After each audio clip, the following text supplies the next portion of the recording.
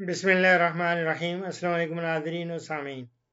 रात को एक रात गए ये वॉइस मैसेज थी तारा तारा मीरा के मरुंडे बकरे बकरियों के देने चाहिए या नहीं उसमें अभी लगता है कि उसकी फीडबैक आई है। हाँ जी।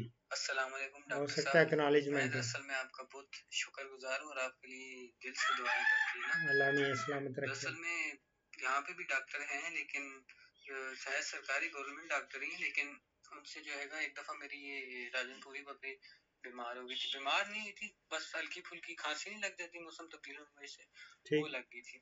तो वो मैं डॉक्टर के पास गया उसने मुझे जो है दो हज़ार रुपये भी मुझसे लिए और मुझे पाँच एक इंजेक्शन दे दिए ना। कहते हैं ये लगाओ तीन टाइम वो मैंने बकरी को सिर्फ़ दो दिन लगाया बकरी अगले दिन मर गई।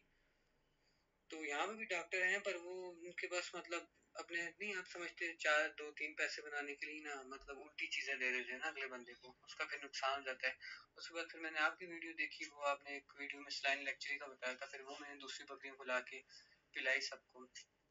तो उससे मेरी बकरियाँ बिल्कुल अलहमदुल्ला तीसरे दिन ही बिल्कुल ठीक अल्हम्दुलिल्लाह इसलिए फिर मैं आपसे कोई छोटा मोटा मशवरा भी आपसे कर लेता हूँ। मैंने दरअसल में आपकी काफ़ी सारी वीडियो देखी यूट्यूब पे तो उनमें ज़्यादातर मतलब देसी इलाज होता है ना जो बकरियों को ज़्यादा साइड इफ़ेक्ट भी नहीं देता और बिल्कुल बिल्कुल ठीक हो जाती है। तो इसलिए मैं आपका बहुत शुक्रगुजार हूँ। अल्लाह ताला। डॉक्टर साहब वैसे तो मैंने आपके यूट्यूब में काफ़ी सारे वनडे के फार्मूले देखे हैं बकरियों के लिए।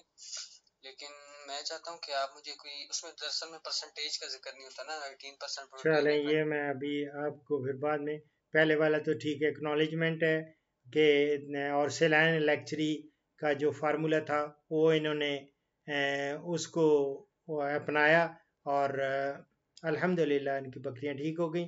और रात को अब एक बज के एक बज के सात मिनट पे मैंने इनका सवाल का जवाब दिया है। और इनको पूरे वीडियो बना के दी है, भेजी है।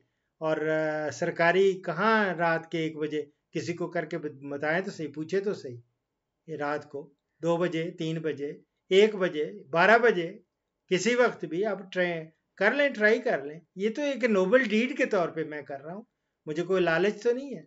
एक रुपया भी नहीं लेता, ना लेना है, ना सवाल ही नहीं पैदा होता।